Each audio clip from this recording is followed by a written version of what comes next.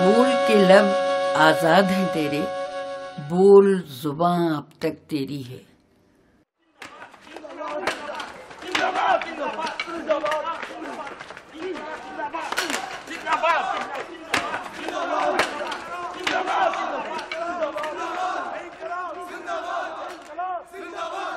یہ سارا رابل پنڈی سازش کیس جو ہے، وہ جسے بات کا بتنگڑ بنانا کہتے ہیں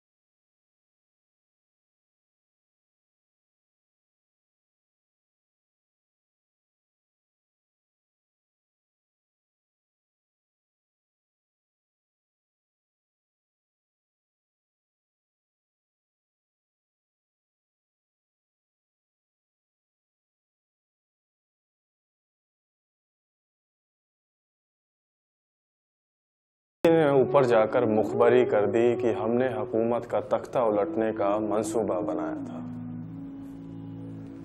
اور سرکار نے ہمارے خلاف سازش کا کیس دائر کر دیا۔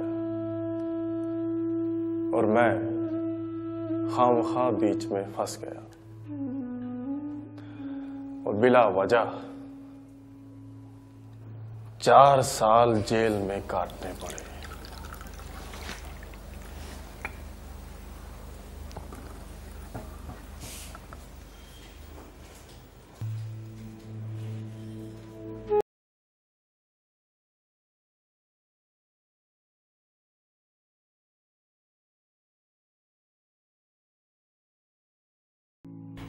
یہ کھمبکت کیوں آئے ہیں؟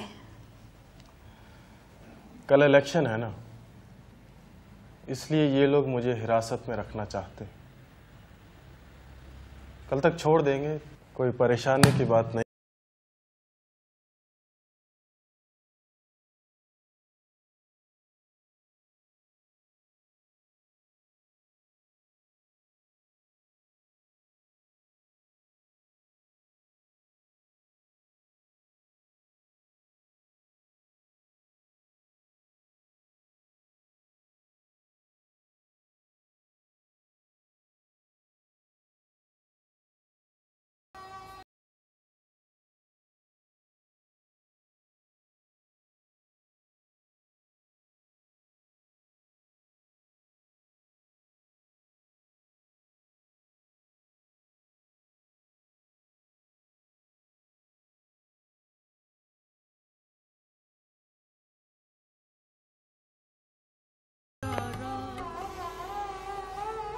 چلیے۔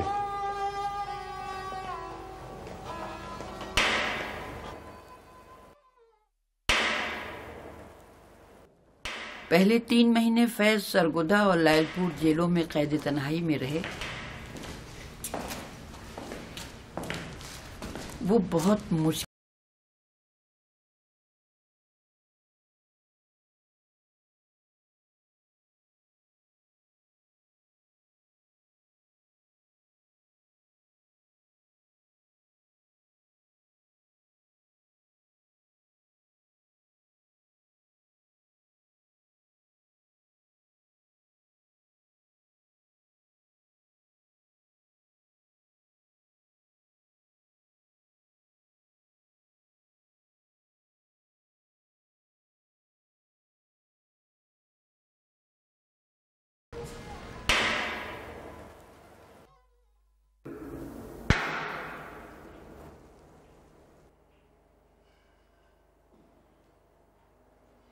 کاغذ، قلم دعوات کتابیں، اخبار، خطوط، سب چیزیں ممنوع تھی مگر وہ ہار نہیں مانے۔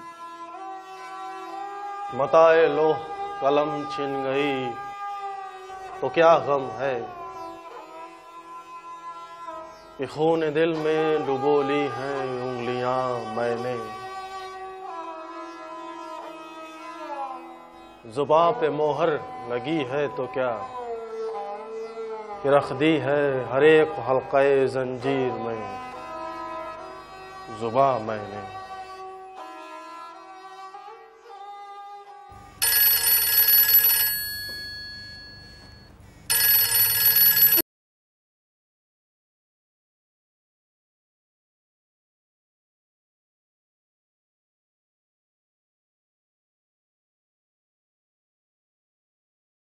بول رہا ہے؟ سلیمہ۔ سلیمہ فیض کی بیٹی؟ جی۔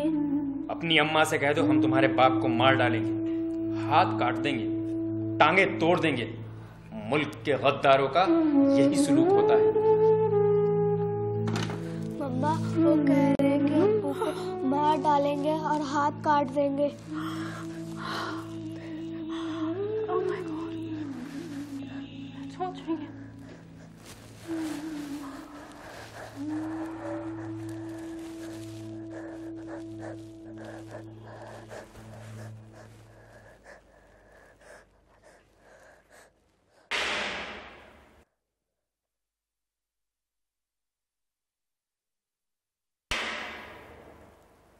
تین مہینوں کے بعد فیض اپنے گھر والوں سے پہلی بار ملے مما ابو آ رہے ہیں How does he look? Heart shaken? بالکل ٹھیک ہے مما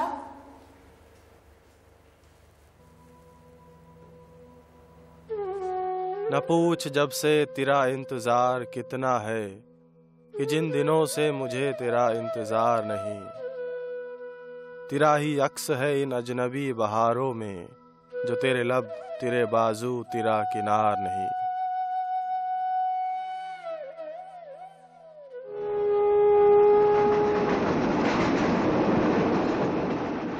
پھر لائل پور جیل سے حیدرآباد سندھ کے سینٹرل جیل منتقل کر دیے گئے۔ یہاں راول پنڈی سازش کیس کے باقی ملزموں کے ساتھ نظر بند کر دیے گئے اور جیل میں ہی ایک عدالت بیٹھائی گئی۔ تمہیں پہلے نہیں لکھ سکا۔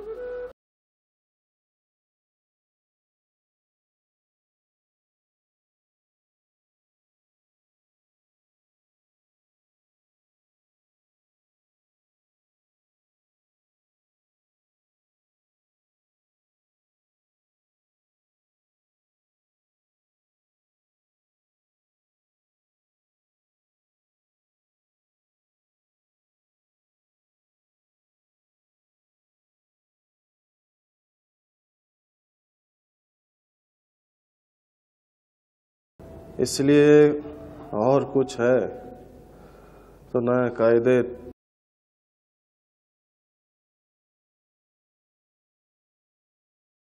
نہ ہی پولیس کی تکلیف اور پوچھ گچھ کا ڈر ہے۔ اب تمہاری اور بچوں کی تصویریں سامنے رکھ کر خوشی سے مسکرا سکتا ہوں۔ تمہاری یاد میں پہلے کی طرح دل نہیں دکھتا۔ رات یوں دل میں تیری کھوئی ہوئی یاد آئی۔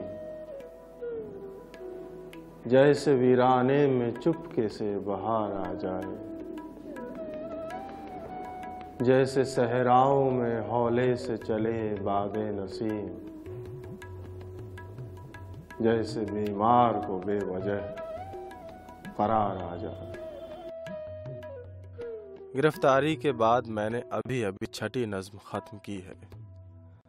اس کے معنی یہ ہے کہ گزشتہ تین برسوں میں جتنا کچھ لکھا تھا، ان تین مہینوں میں اس سے دو گنا لکھ چکا ہوں۔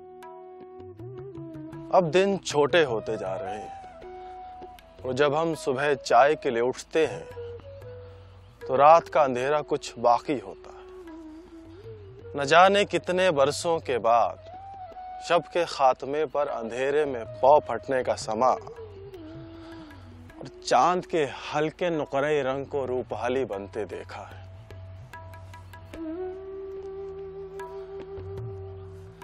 شب کے ٹھہرے ہوئے پانی کی سیاہ چادر پر۔ جا بجا رقص میں آنے لگے چاندی کے بھور۔ چاند کے ہاتھ سے تاروں کے کمل گر گر کر۔ ڈوبتے، تیرتے، مرجھاتے رہے، کھلتے رہے۔ رات اور دن بہت دیر گلے ملتے رہے۔ جیل کا تجربہ کچھ ایسا ہی ہے، جیسے جوانی کے آغاز میں پہلا عشق۔ جیسے عشق میں خامخواہ شیر بنتے ہی چلے جاتے ہیں۔ انسان جذبات کی رو میں بہ کر شیر کہتا ہی چلا جاتا۔ جیل خانے میں کچھ ایسا ہی ہے۔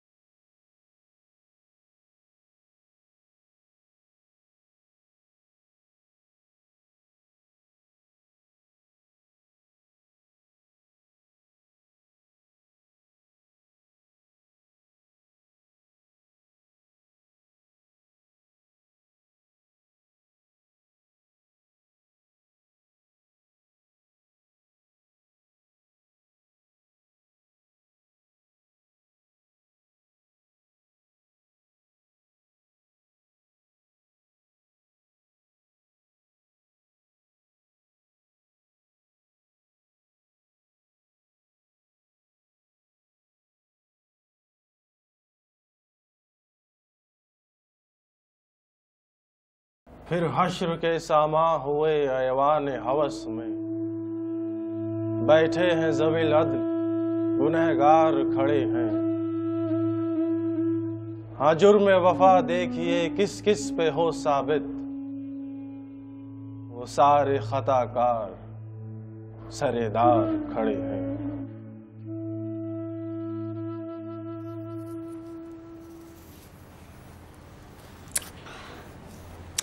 Mizu Baker. Why does your hair get knotted every day? کل کٹوا دیں گے جان جاتی کر ابو آئیں گے پریشان ہو جائیں گے کیوں وہ کہیں گے لڑکا کہاں سے آیا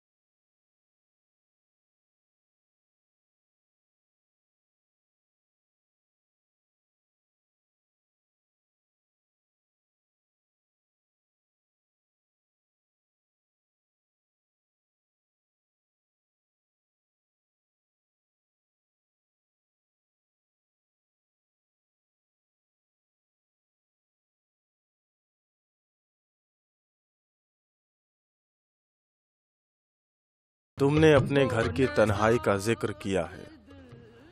میں جانتا ہوں یہ تنہائی کتنی کڑی اور جدائی کے یہ لمحے کتنے گراں ہیں۔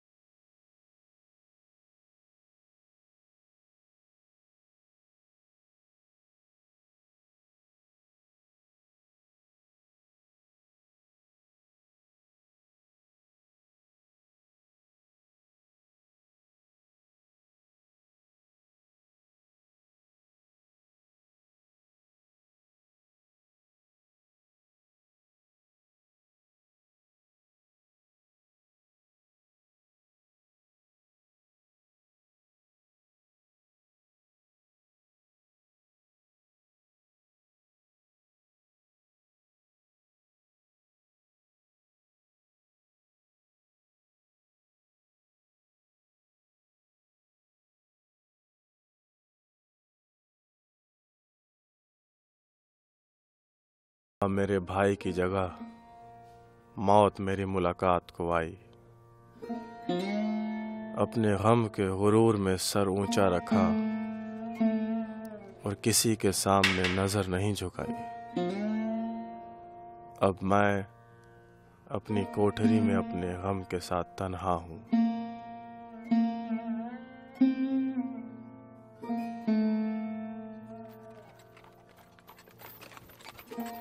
مجھ کو شکوا ہے میرے بھائی کہ تم جاتے ہوئے لے گئے۔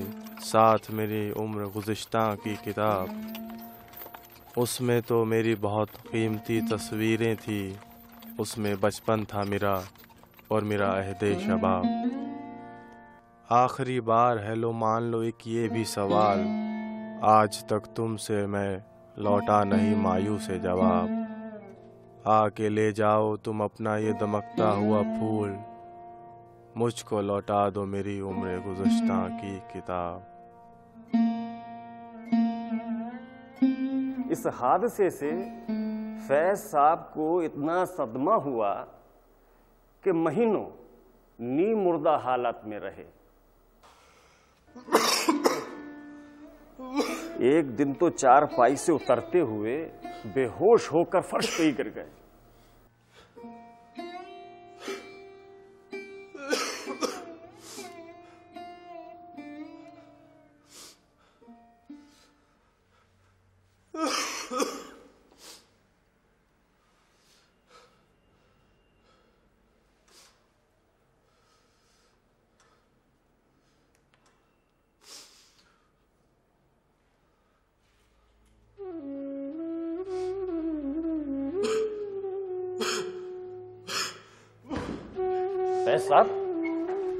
صاحب آپ ٹھیک تو ہیں نا؟ فیض صاحب۔ اٹھیے اٹھیے۔ پوری کوشش کریں آپ۔ آئیے۔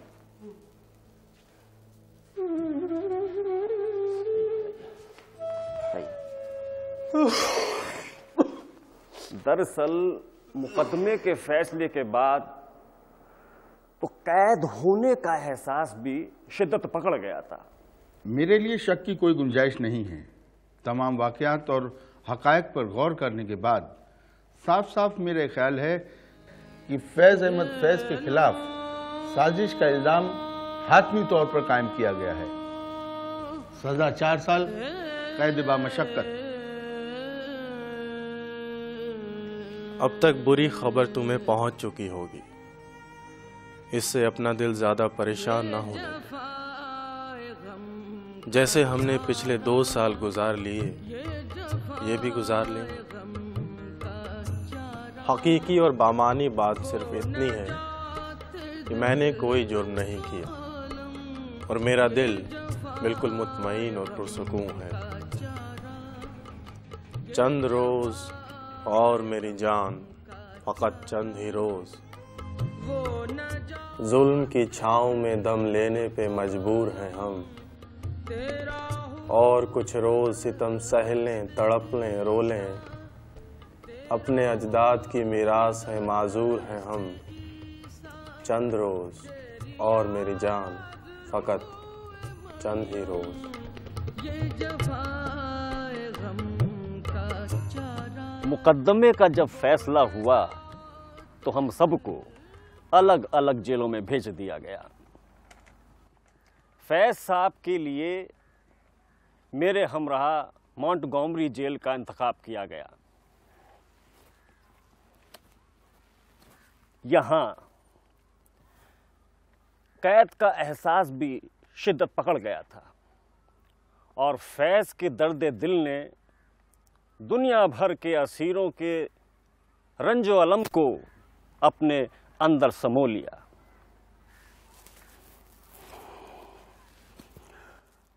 روزن برگ کے جوڑے کی قربانی سے متاثر ہو کر لکھی گئی نظم نے ہر ملک، ہر زمانے کے شہیدوں کو ایک صف میں کھڑا کر دیا۔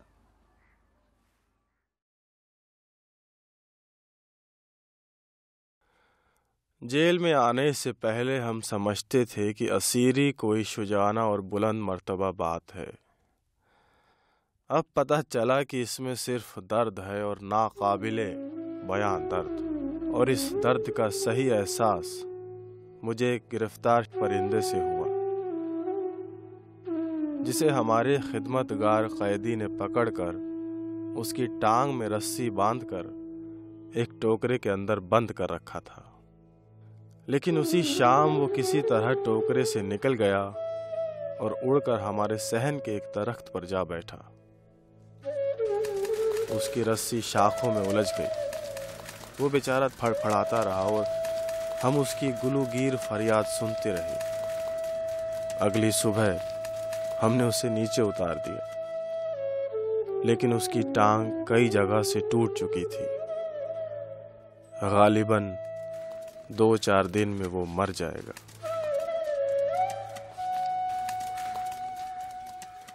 فطرت میں حیوانوں کے درد کا دار و مدار موت ہے۔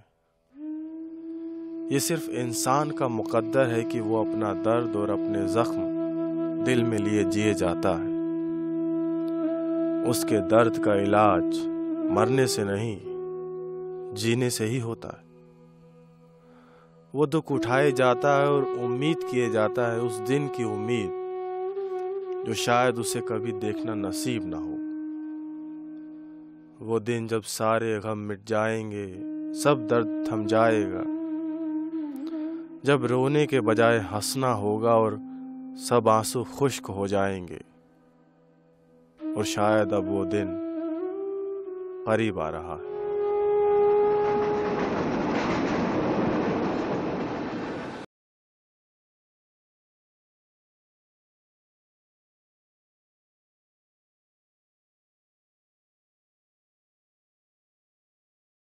عمر کے چند بیش قیمتی سال برباد ہو گئے۔ لیکن زندگی میں پھر بھی بہت کچھ دیکھنے کو باقی ہے۔ تو آپ دل کو سنبھالیں اور اگلی فصل گل کا اس وقت تک انتظار کریں کہ جبکہ ہجوم گل پر سے خزاں کا سایہ اٹھ چکا ہوگا۔ گلوں میں رنگ بھرے بادے نو بہار چلے۔ چلے بھی آؤ کہ گلشن کا کاروبار چلے۔ قفس اداس ہے یارو سبا سے کچھ تو کہو۔ کہیں تو بہر خدا آج ذکر یار چلے۔ جو ہم پہ گزری سو گزری، مگر شب ہجرا ہمارے اشک تیری عاقبت سوار چلے۔ حضور یار ہوئی دفتر جنو کی طلب، گرہ میں لے کے گرے